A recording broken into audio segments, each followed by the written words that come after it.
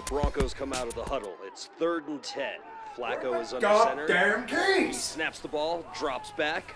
He's looking to pass, and oh, they literally shoved the ball right up his rectum.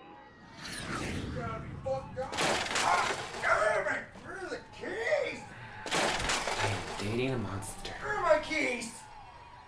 Keys? You know what, Tyler? If you weren't such a fucking alcoholic, you wouldn't lose shit all the time. These Broncos suck ass and not in a good way. I gotta tell you, Steve, the Broncos really should think about just becoming a minor league team. And now they're removing Flacco from the field on a stretcher. As you can see, the ball is still clearly implanted my keys? in his anus. It is a sad day to be a Broncos fan, ladies and gentlemen.